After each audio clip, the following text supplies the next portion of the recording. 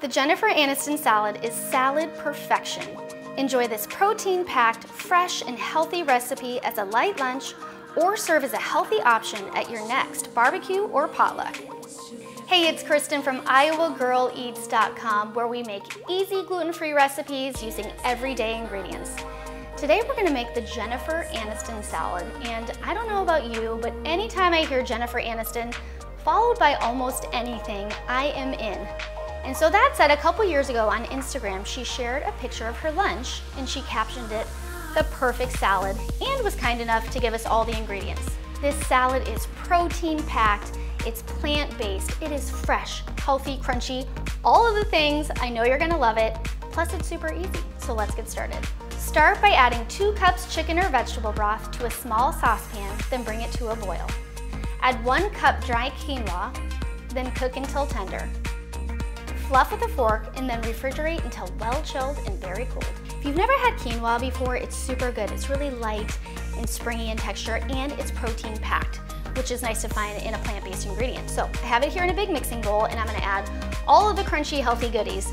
We're gonna start with one diced cucumber. This is an English cucumber, so no need to peel or seed.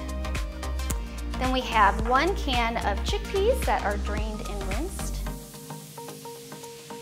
one half of a red onion that is finely diced. You know, all these ingredients are kind of chopped to the same size, so you get a little bit of everything in every single bite. Next, we have chopped pistachios, and this adds a nice kind of salty crunch, and again, more protein. Finally, we have some nice crumbled feta cheese. This really cuts through all the other ingredients and gives a nice pop of salty flavor. What makes the salad extra special is the inclusion of lots of fresh herbs. We have parsley and mint, and they go such a long way to bring fresh, fresh flavor to each bite of the salad. Next, we're gonna make a light lemon dressing to dress the salad with. To a small bowl, add a half cup of extra virgin olive oil, a half cup of fresh lemon juice, one tablespoon honey, Salt and pepper, then whisk to combine. Our easy lemon dressing is all ready, so I'm gonna drizzle it over the salad. You can use all or a part, however saucy you like your salads.